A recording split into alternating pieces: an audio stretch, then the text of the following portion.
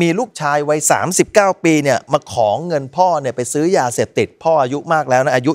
73 พอพ่อไม่ให้เงินก็มีปากเสียงทะเลาะกับพ่อ สุดท้ายเนี่ยพ่อเนี่ยทนไม่ไหวครับ เอาเหล็กแป๊บตีหัวลูกจนกระทั่งเสียชีวิตคาที่เลยนี่นะครับ โดยเหตุเกิดที่อำเภอสามพรานจังหวัดนครปฐมนะครับ เจ้าหน้าที่ไปตรวจสอบที่บ้านหลังหนึ่ง เป็นทาวน์เฮาส์ชั้นเดียว พบศพนายบุญเลิศอายุ 39 นอนเสียชีวิตอยู่ที่บริเวณที่นอน บริเวณประตูหน้าบ้าน โดยพบว่าศีรษะเนี่ยแตกเป็นแผลชะกัน ถูกตีด้วยเหล็กแป๊บขนาด 4 หุน ส่วนผู้ก่อเหตุชื่อในฤทธิ์อายุ 73 เป็นพ่อของผู้ตายครับ ไม่ได้หนีนะครับ รอมอบตัวอยู่ บอกว่าก่อนเกิดเหตุลูกชาย มาขอเงิน 30 บาท บอกว่าจะไปซื้อยาบ้าเสพ แต่ว่าพ่อเนี่ยไม่ให้นะครับ พ่อก็ไม่ค่อยจะมีเงินเท่าไหร่ ก็มีปากเสียงทะเลาะกันพ่อบอกโมโมโหเนี่ยทนไม่ไหวก็เลยคว้าเหล็กแป๊บเนี่ยตีลูกจนตายเลยคุณผู้ชมฮะ เอาเดี๋ยวลองฟังหน่อยครับพ่อผมถามหน่อยครับว่าเหตุมันเป็นเกิดยังไงฮะเขาเก็บยาบ้าทุกวัน วันหนึ่งเยอะไหมครับ วันหนึ่งสามสี่เม็ดห้าเม็ดแล้วแต่ก็มีเงินพ่อผมถามหน่อยครับว่าเหตุมันเป็นเกิดยังไงฮะเขาเก็บยาบ้าทุกวัน วันหนึ่งเยอะไหมครับ วันหนึ่งสามสี่เม็ดห้าเม็ดนี่นะครับแล้วแต่ก็มี ขณะที่ญาติของผู้ก่อเหตุบอกว่า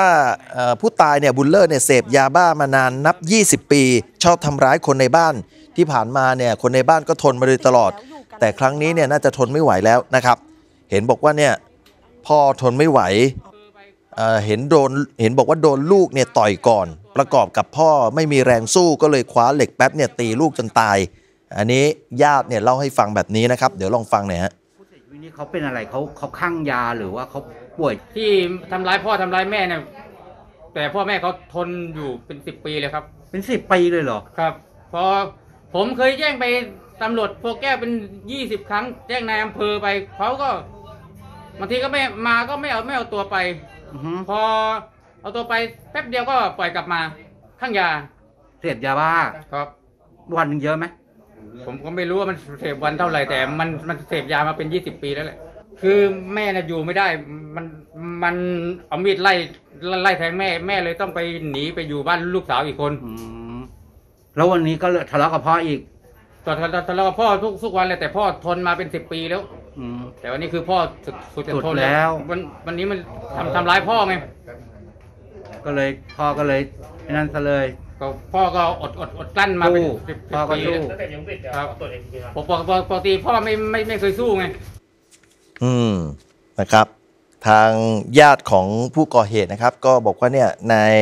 บุญเลิศผู้ตายนั้นเสพยาบ้ามานาน แล้วก็ทำร้ายคนในบ้านเป็นประจำล่าสุดทางตำรวจได้นำตัวนายฤทธิ์ซึ่งเป็นพ่อ